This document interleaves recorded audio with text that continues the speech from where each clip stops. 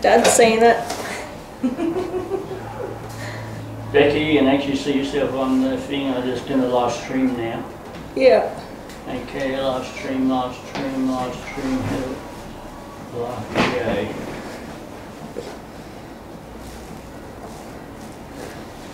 Maddie's going off. Who's Maddie? My best friend. Couple more seconds, Beccy, we're almost ready. Okay, everybody, this is Beccy Lee from Little Swan, something, something, something, out bush somewhere. And she's here to prove that she's not soft cock like the rest of the Camerons, especially that huge Cameron, I'm a huge Cameron, who cried and cried and cried and went there lots of sandbags the tears from flooding Tasmania. Yeah, Beccy was meant to get a um, thing for her mum and dad. Did that freeze? Yeah, that freeze. Damn, you did freeze on that bloody thing. I know a lot of people that really like it. I know a lot of people that hate it, like chocolate. Some, to some people, it, it tastes really good, and to other people, it makes them have explosive diarrhea. So that, that that's what I that's how I think of this film. Good morning, Starshine. The Earth says hello. I respect the risk that Johnny Depp took here, but I like Corpse Bride much, much more.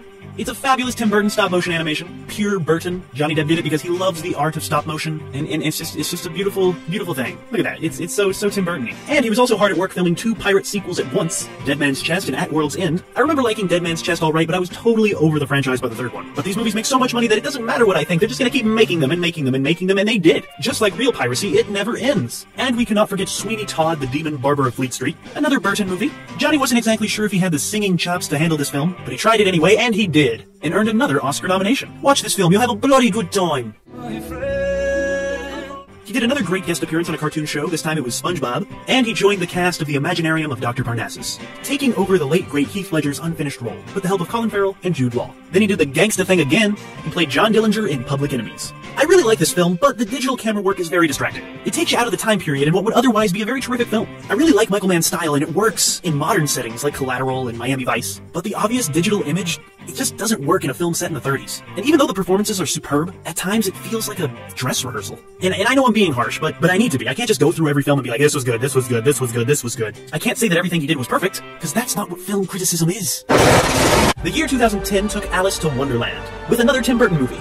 He played the Mad Hatter, and this was another box office smash hit. The character design is amazing, the costumes, the makeup, and Johnny, of course, is having a blast. But it was a little too much for me. Maybe it was the 3D, maybe that extra dimension overwhelmed me, but it's just, it's just not my favorite. But, but who cares what I think? This sucker made a lot of money, like a billion, billion dollars, with a B. Then he did The Tourist, which should have been a hit, but it wasn't. It had the two biggest movie stars in the world teaming up on a sexy adventure, but no, nobody went. It was a big failure. Nobody, nobody, nobody cared. There was no chemistry between Johnny Depp and Angelina Jolie, and this film almost represents like the death of the movie star. The age of the movie star was was ending, and was it Johnny Depp's fault? Sure, why not? And he should be proud of that. And this was also the first sign that Johnny Depp was maybe not as powerful as we believed. But he finally found his perfect cartoon alter ego in Rango. He really shines as this reptilian cowboy. And it's not just Johnny's voice. No, no, no, this lizard is all Johnny. In order to truly capture the movement and the spirit of the characters, the actors actually acted out the action while recording the audio. Just Rango. It's such a good movie. Johnny Depp, he's a lizard. It's a western, full of critters. It's just fun stuff. Then came Pirates of the Caribbean on Stranger Tides. It's another Pirates movie. I'm sure it's fine, but they all start to blend together to me, so I, I, I can't even tell you if this is a good one or a bad one, because they, they're all just, they're all just there. I love the first one. I love Johnny Depp's performances, don't get me wrong. I, I just can't keep him straight. He then took a big sip of the Rum Diary. This film allowed him to channel Hunter S. Thompson once again. And he met his future wife, slash arch nemesis, Amber Heard. We'll get to that later. And as you know, Johnny Depp hated working on 21 Jump Street. But he still made a magnificent cameo appearance in the Channing Tatum version of 21 Jump Street. It was perfect, perfect timing, just the right amount of cameo-ness. The art of the cameo is very tricky, and they handled it well in this one. This cameo is actually very symbolic of how far Johnny has come in his career. He started out as the young hotshot, and now he's an experienced veteran, covered with disguise makeup. Yeah. You guys at Jump Street? Yeah, yeah. That's funny because we were actually Jump Street. What? Yeah, yeah, yeah. Most of Johnny Depp's best work is with Tim Burton, but that doesn't mean that every time that Johnny Depp and Tim Burton team up, it's gonna be perfect movie magic. No, sometimes they're not great. No, sometimes they even suck. Like a vampire sucks blood. I'm sorry, I really, really tried to like Dark Shadows, but it just, it just wasn't my thing. It seemed like it could have been the perfect Tim Burton film. Humor just Beccy Lee Cameron. Oh, stay, stay, stay, taking video.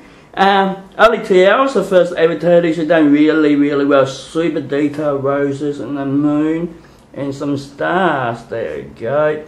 At least she's not a soft cock little princess like her little sister, Hugh Cameron, who's got a huge head made out of cement But I thought like no brain, no pain, but didn't work in Hugh's case. He just looked like a bitch.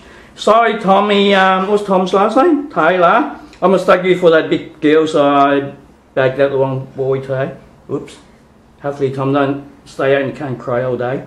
There you go, we're done.